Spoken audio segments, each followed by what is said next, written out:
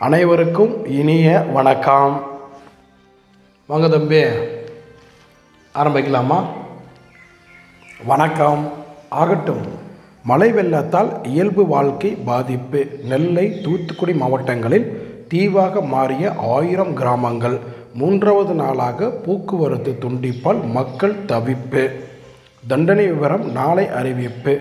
சொத்து குவிப்பு வழக்கில் அமைச்சர் பொன்முடி குற்றவாளி. சென்னை ஐகோர்ட் அதிரடி தீர்ப்பு. தூத்துக்குடி நெல்லை மாவட்டங்களில் வெள்ளம் மீட்பு பணிக்கு கூடுதல் ஹெலிகாப்டர்கள். மத்திய அரசுக்கு முதலமைச்சர் மு ஸ்டாலின் கோரிக்கை.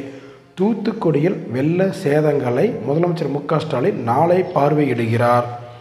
கீழ்பவனி வாய்க்காலில் மூழ்கி தாய் இரண்டு மகள்கள் பலி.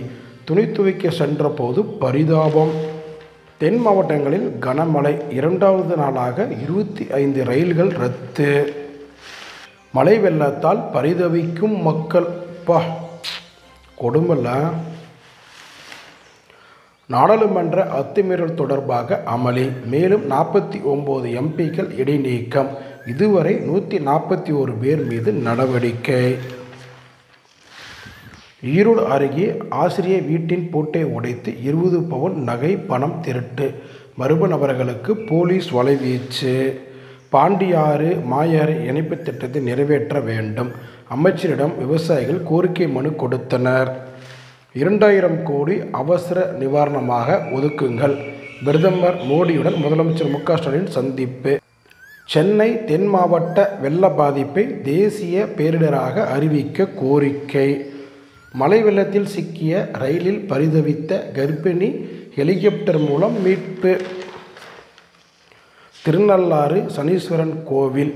இன்று சனிப்பெயர்ச்சி விழா. தரிசனத்திற்கு சிறப்பு ஏற்பாடு. வெள்ளத்தால் பாதிக்கப்பட்ட மக்களுக்கு உணவு நிவாரணப் பொருட்கள் வழங்க விரும்புவோர் சிறப்பு குழுக்களை அணுகலாம். தமிழக அரசு அறிவிப்பு. சீனாவை உலுக்கிய நிலநடுக்கம். நூற்றி பதினெட்டு பேர் பலி ஐநூறு பேர் படுகாயம். சித்தி கொடுமையால் வீட்டை விட்டு வெளியேறினான். ஈரோட்டில் இருந்து சேலத்திற்கு தண்டவாளத்தில் நடந்தே சென்ற சிறுவன்.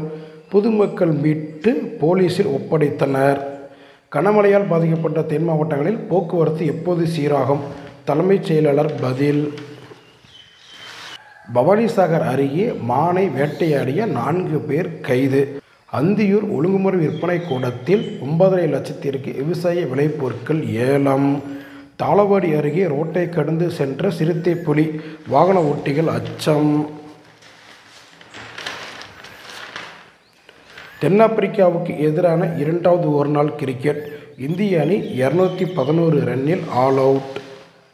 ஐந்து மாநில சட்டசபை தேர்தலில் தோல்வியால் நிலை குலைந்த எதிர்க்கட்சிகள் விரக்தியால் நாடாளுமன்றத்தை முடக்குகின்றன. பாஜக எம்பிகள் கூட்டத்தில் பிரதமர் மோடி பேச்சு. மின்கட்டண உயர்வை கண்டித்து இருபத்தி ஏழாம் தேதி நடக்கும் மனித சங்கிலி போராட்டத்திற்கு பாமக ஆதரவு. டாக்டர் அன்புமணி ராமதாஸ் அறிவிப்பு. சட்டவிரோத கட்டுமானம் என வழக்கு. கொடைக்கானலில் நடிகர்கள் பிரகாஷ்ராஜ் பாபி சிக்மா கட்டும் பங்களாக்களில் விதிமீறல்கள். உரிய அனுமதி இல்லாததால் பணிகளை நிறுத்தியதாக அரசு தரப்பில் தகவல்.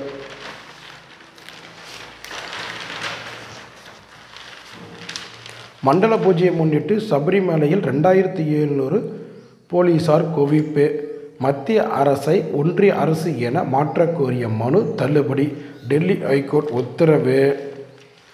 ராபிடோ மோட்டார் சைக்கிளில் பயணித்த இளம்பெண்ணுக்கு பாலியல் தொல்லை.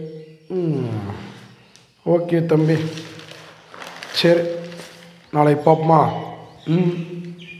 ம்.